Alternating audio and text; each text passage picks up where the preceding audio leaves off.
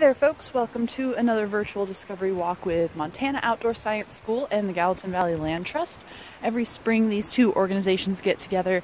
They uh, host a walk that families can attend and on these walks a Moss instructor will talk about various science knowledge about animals, plants, uh, anything that's non-living as well. And there's always some kind of lesson associated with these that kids can learn from.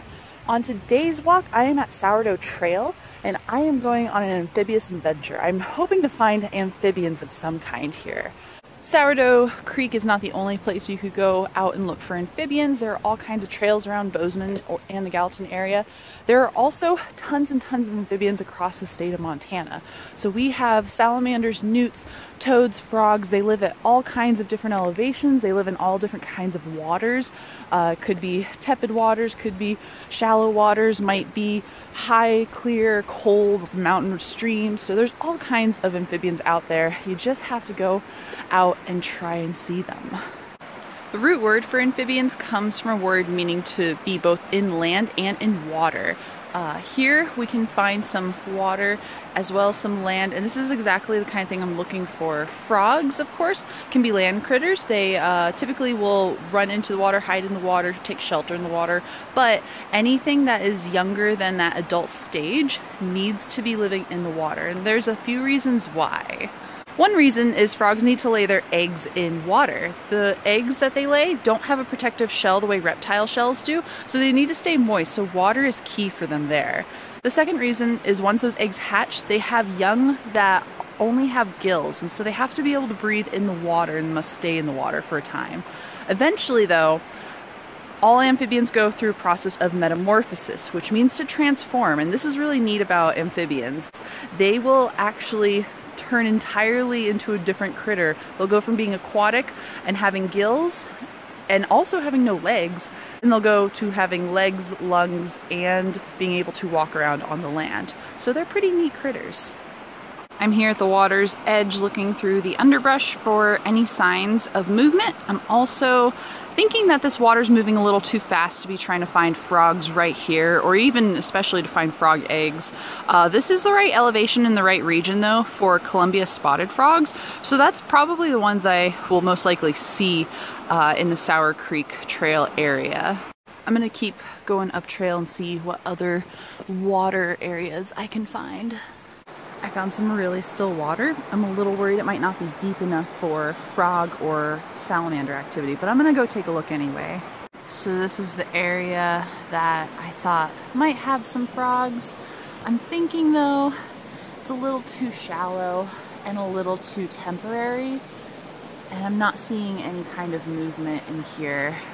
While looking for amphibians, I'm not just thinking about the types of water sources they may take shelter in, I'm also thinking about other things that they need in their habitat. So I'm thinking of the food they may be eating, which is going to be all kinds of various invertebrates, uh, aquatic invertebrates, insects.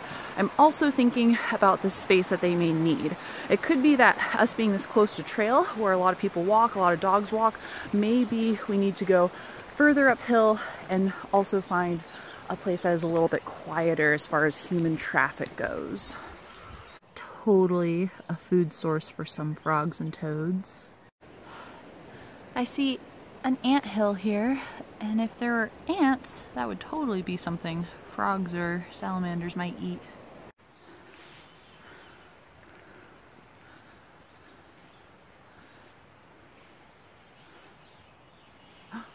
Is that a frog?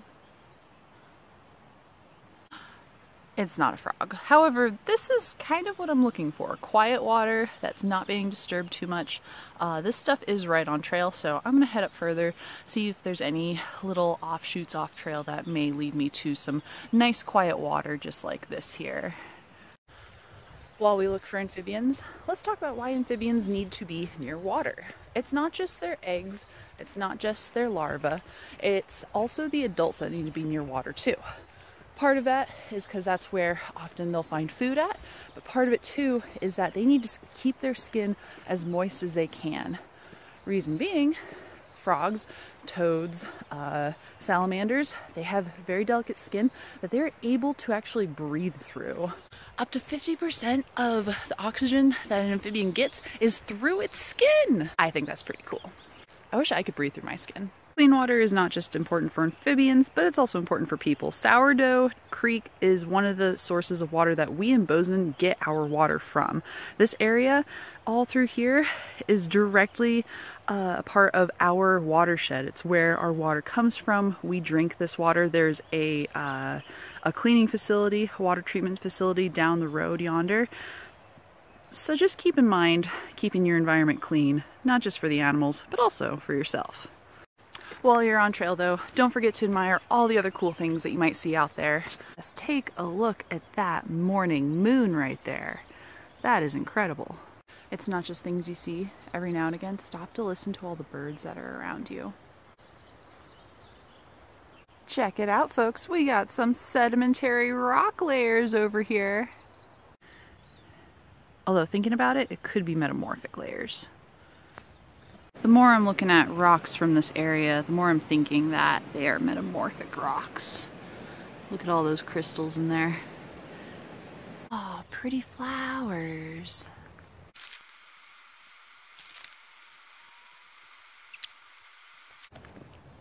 Canadian Mayflower. That's that one right there. Also, it's really poisonous, so don't touch it. See you later, deadly flower. So it seems to me that we're not going to find any frogs on Sourdough Creek Trail, uh, and that's okay. There's a lot of other places that I know where to find frogs, um, furthermore, I know that if you did get to the top of this sourdough trail uh, at Mystic Lake, there are a ton of frogs. I also know that there's a pair of beavers up there. They may even have a family this year. I've definitely seen that before. Unfortunately, I just don't have the time today to go walk all the way up there, uh, but nevertheless, that is something that you could do on your own time with your family. It isn't to say that there aren't frogs along the Sourdough Creek Trail. Maybe that we're here just the wrong time of day or the wrong time of the year. Um, I do know though that there are frogs up at the top at Mystic Lake, which is pretty neat. Even if we didn't find any frogs, that's still okay. We still got out in nature, we still got out on the trails, did a little exploring, and maybe even learned some things. Today I learned what a Canadian Mayflower is. I've always seen those flowers, I've seen those plants, I just had never known what they were called. I'd also never known that they were super highly poisonous. So all good things to know, good things to learn while you're out on trail. And I mean, who doesn't want to get out on a day like this? It's just so beautiful out. Look at that sky, bright sunshine. It's to be a great day.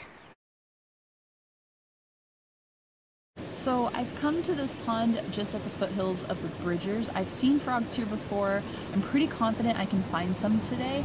Let's see what there might be out there. If not frogs, there may be tadpoles at the very least.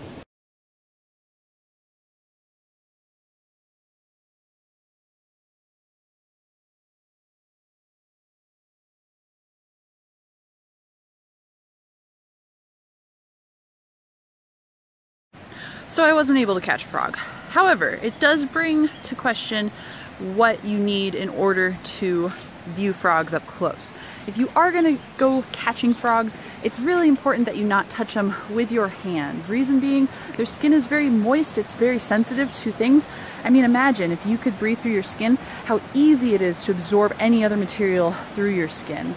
Uh, the frogs and toads and other amphibians, they shouldn't be handled with bare hands because anything on our hands, sunscreen, lotion, even just natural oils that come off of us can disturb that animal. So it's really important to be able to have a net and a bucket. Even though I didn't catch a frog, I did find a frog still, and I also found other uh, signs that a frog has inhabited this pond here. Let me show y'all what I found. So in the weeds here, and in the cattails and grasses, there is this jelly-like material floating around underneath this cattail. I wonder if y'all can see the silhouette of it. It is full of little tiny frog eggs. There's also tons of macroinvertebrates. There is a snail right there. There's also a little uh, water insect floating around in there. These are things that uh, frogs may very well eat. But to top it all off, there's a frog sitting out there. Let's see if I can get a zoom in on him. There he is. There's the frog. He's just a little too far away for me to fetch, so I'm gonna leave him there, or her. I'm not gonna disturb that frog today.